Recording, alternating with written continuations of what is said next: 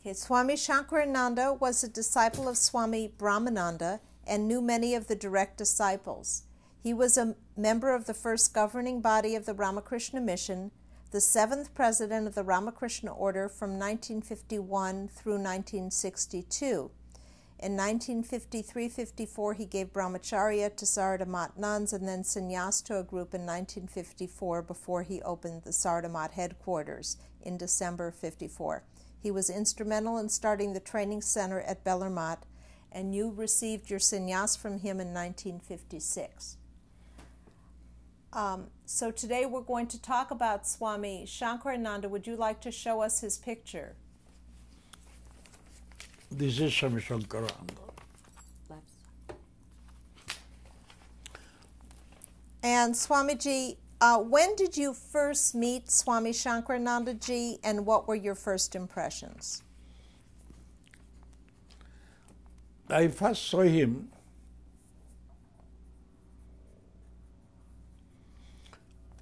of course, when I came for initiation, I must have seen him, but not much impression in my mind.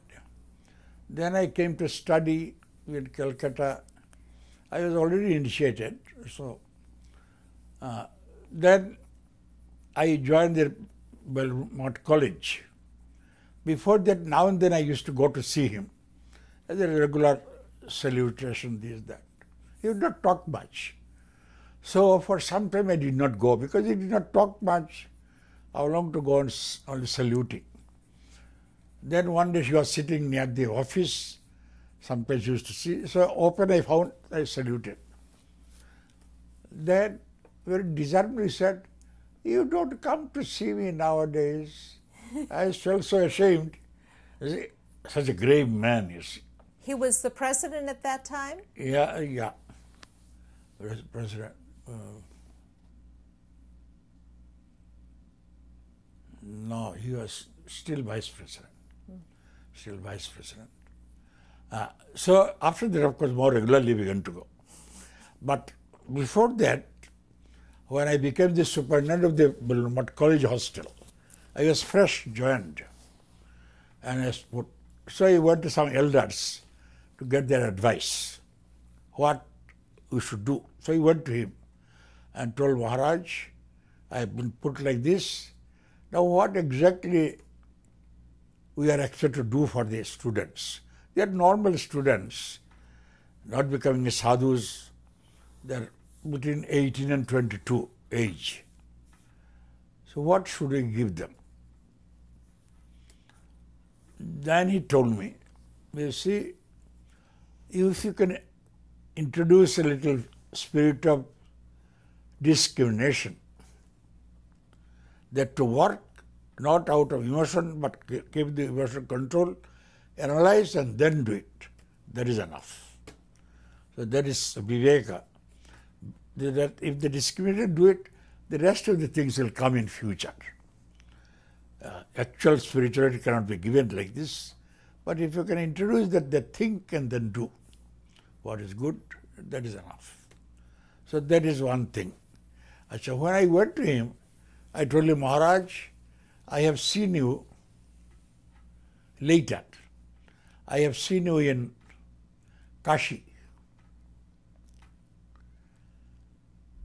Uh, in such and such year, as a student, I went after my BA examination. There is 43. He was in Kashi. So he was there sitting.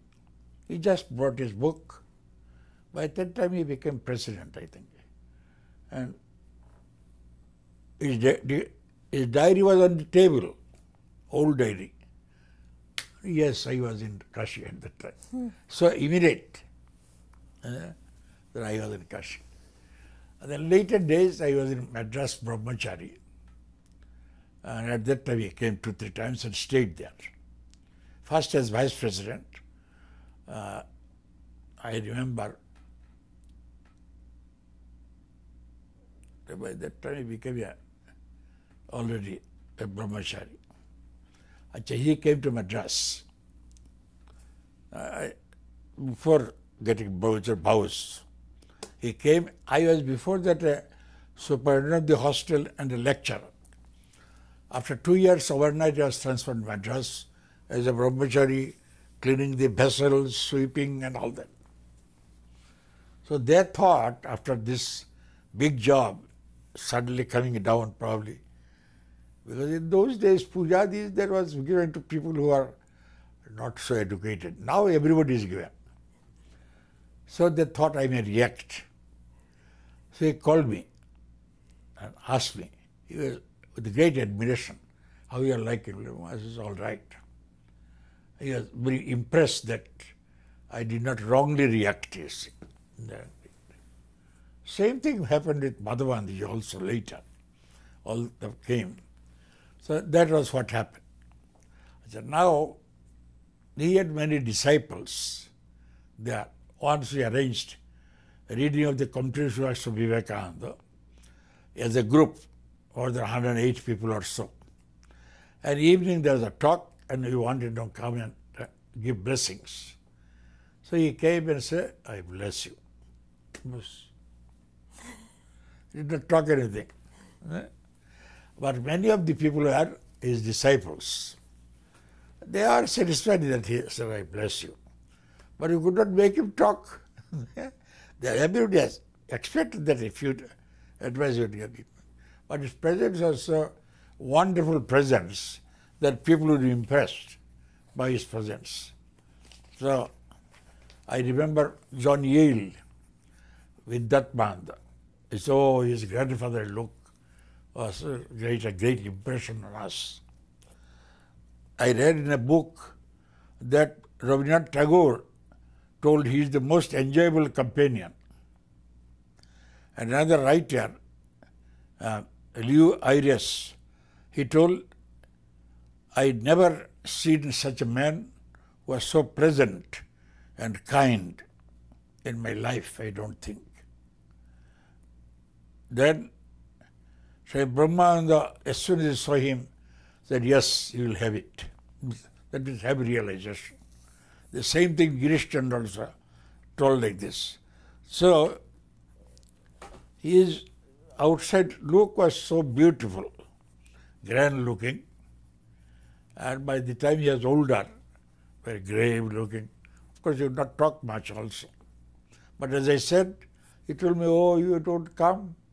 That means inside there is a great loving heart, affectionate heart. But outside you would not show the manifestation so much. That idea. Could you tell us anything about your um, sannyas yes. initiation? Yeah, I should say. So when we had sannyas, the custom is all the people again go back, go back to him.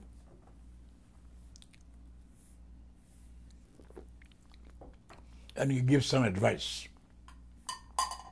He told, you see, you have all, so many years you have spent as brahmacharis, you are not a swami, you know things. Of course, you will do all of the normal things of life, life, job, dhyan, uh, studies, service, everything.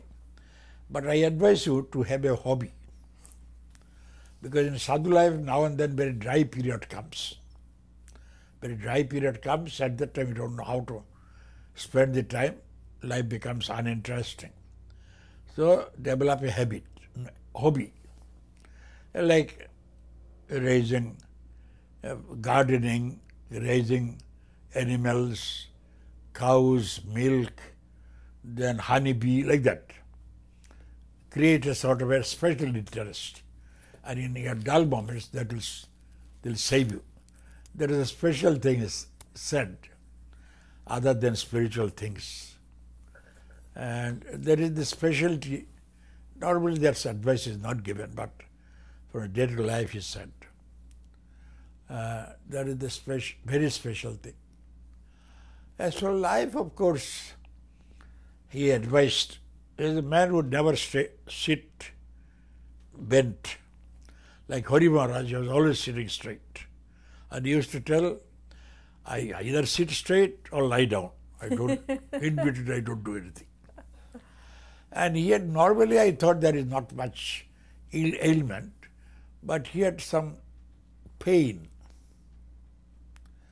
So he used to suffer from that pain. other normal diseases. His health was very good. In young days, he had very strong health. Very strong health. Oh, he was the nephew of Swami Sadananda. Sadananda is uncle, uh, Sharachandra Gupta. His name was Amrita Sengupta, but his uncle used to call him as Amulya. So he became famous as Amulya Maharaj. And he went with the Sadananda Nivedita to Japan once. Then twice they tried to send him to America. One is almost settled. But then he heard that he has to take injection for pox and some other disease. He refused, no, I cannot go. but if you can't take, you cannot go. I won't go. Why? Because my guru asked me not to take injection. What is the story behind? At one time, for some reason, he had to take injection. And Swami Brahmananda said, he went to him, shall I take it? Don't go towards injection. Whole life he avoided injection. That was more probably for prevention of cholera, this, that. But even for normal pain killing, he never, yeah, he never took injection. Very strange that to hold on to this. Hmm. So that is how America he avoided. And Brahmaji, yeah, another story I read that when Swami Abhedananda went, at 5 I think, he wanted him to accompany him. But he was not very willing and Maharaj did not want it. So he refused till the last. Then, but Maharaj sent him to see him off in Bombay. Then Abhedananda said, Do you respect me? Yes, Maharaj. Then should you not hear me when I am eh, requesting you to come to America? Maharaj, yes, I should obey you, but first I must obey the order of Maharaj. He has sent me to see you off and go back. He has not asked me to go with you. So, so I shall obey you, but first I have to obey him. So it's strongly went. So Abhedanji first wanted him. He was looking grand, you see. Then, of course, Paramanji came. That part of the story did not know much.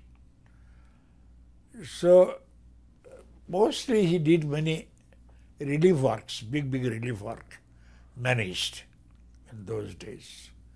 And then he built the ashram in Bhubaneswar. Maharaj wanted to have it, so he was the man who built it up. So he was always considered to be a very practical type of man and very bold. The story goes when Belur Math temple was built, on the top they had to put some trishul. And even the normal workmen were afraid to climb there. Uh, with some stairs were there and all that, ladder. But he was bold enough to climb there with the risk of his life. He put it there. They didn't make too much arrangement, safety arrangement, you see. Mm. And of course, in young days, he used to say that about 12 times he crossed the Ganges. Swimming? At one time, at one stroke. So strong he was. And he was expert also. One story goes, he was shaving Maharaj, suddenly the razor fell from his hand. And doing like this, he caught it. And Maharaj was very impressed. Wah, wah, he said. So like that, he is very practical type and very bold also, their idea. Earlier days, conflict was there whether to work for the national movement or not. And later days, a gentleman you saw in Narendrapur, Lokeshwaranji kept, he was the elder brother of Swami Shankarananda. He, for 40 years, spent in Shillong as a Christian missionary. He was a, he was a revolutionary. To escape the British, he went there and assumed a different name, and I think married and everything was, he settled there. Lokeshwar knew him as a gentleman, as a Christian missionary, liberal. Then he came out after independence. This that came out. Oh, what So interesting there, that uh, interesting thing, how he successfully did it without telling about himself and all that. Is there any other advice you'd like to share with us that Swami Shankarananda gave you, either before or after sannyas? See, once I went to India from uh, uh, in America to just to see the president, just to see the president, I got down. I, I, I felt that he was happy that just to see me, I got down there. I talked a little, Lord blessing, and not so much personal, but live the life methodically.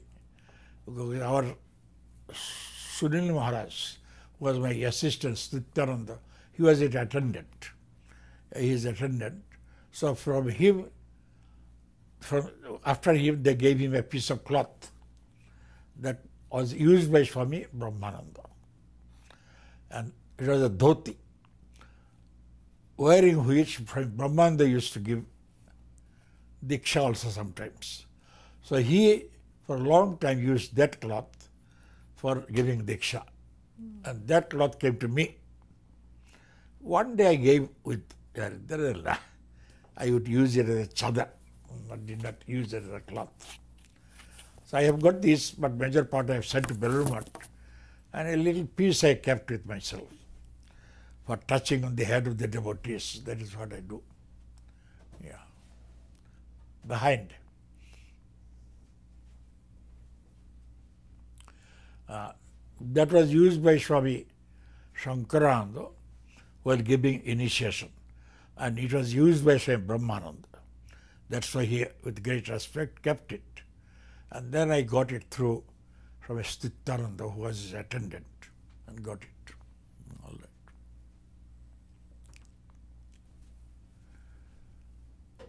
His main advice was little life methodically and looking after the order.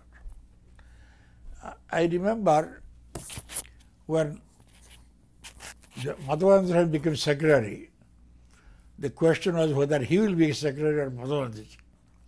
Shangaji was trustee 10, 15 years before, you see, 15 years before.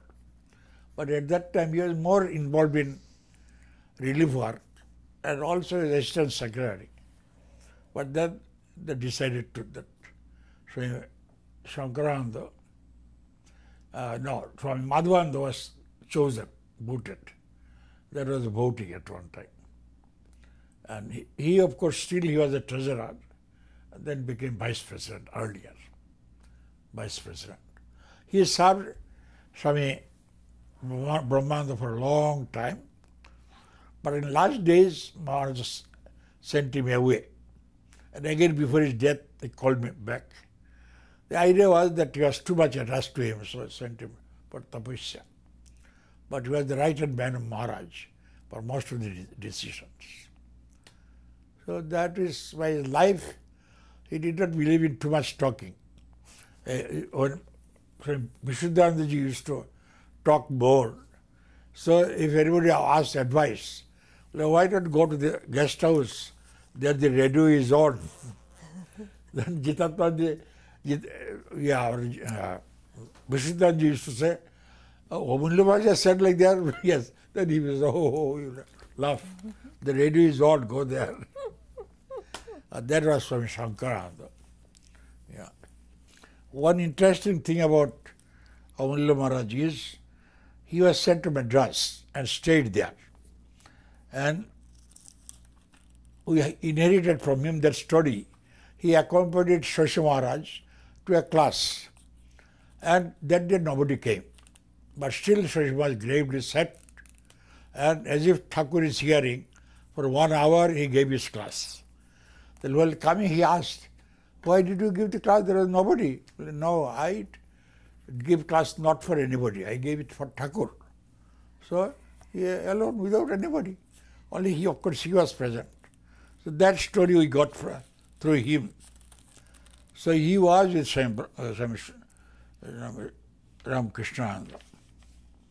Oh, he also took part in building Matri Mandir in Belur the Brahmananda Mandir, upstairs of Om, Om temple, that, that part, and also embankment. These are all varieties of things that he did. He was for 11 years personal secretary of Swami Brahmananda. Hmm. All right.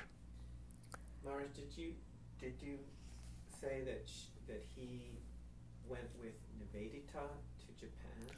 Yes, Nivedita also liked him very much. So some relief work he did, and twice it accompanied Nivedita and Sadananda. Sadananda also was, Swamiji I think asked him to look after Nivedita. So even that plague time, when there was a plague, Nivedita and Sadananda were the main people. Later relief time came, by that time he also became sadhu. So he was always Nivedita, used to take. And Sadananda always took him with him uh, to Rajgir, these, that different holy places. So he was evidently quite brilliant in all that, and of course, good healthy man and all that. So he was always chosen